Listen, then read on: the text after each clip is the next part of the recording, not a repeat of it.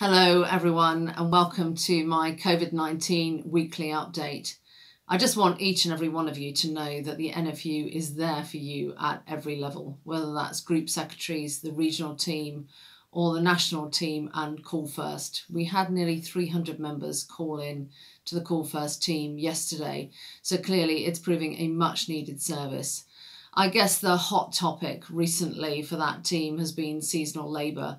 And I had a very encouraging conference call with George Eustice and the DEFRA team yesterday, which growers joined as well. And I am very confident that in the next few days, government will outline its campaign for Pick for Britain. Uh, I think there's clear recognition this has to be modelled on a very similar basis to what has happened with the NHS, which of course has been enormously successful. So hopefully I will have further update very, very soon for you.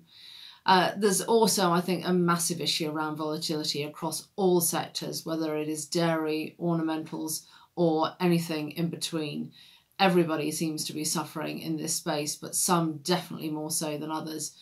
There's a big issue with people that supply into the food service market and people that supply into retail, and it is taking far too long to sort distribution from uh, food service back into retail. So we're working on it. We're engaging at every level with processes, with government to sort this out. It's just unthinkable to see, you know, the drop in prices that we have seen for some sectors. And of course, for ornamentals, you know, that sector is just suffering massively uh, with the closure of DIY stores and all garden centres.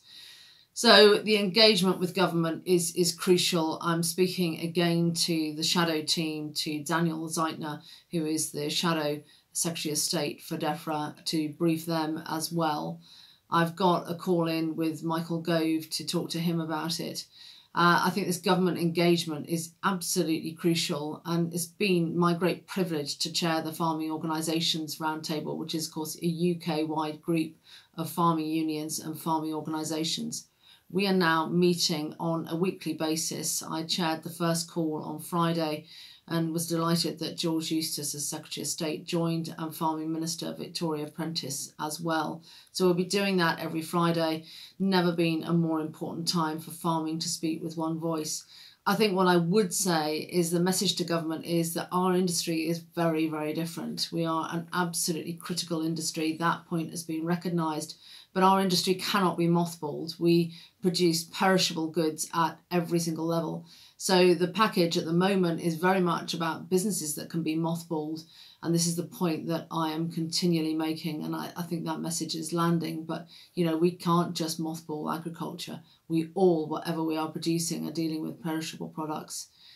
So it's just to say that we are here for you. I would encourage everybody to go on NFU online for further updates. This is changing on an hourly basis please download the NFU app. It's proved really successful uh, for many members to be able to access advice. And of course, please do phone the Call First team if you need any further help.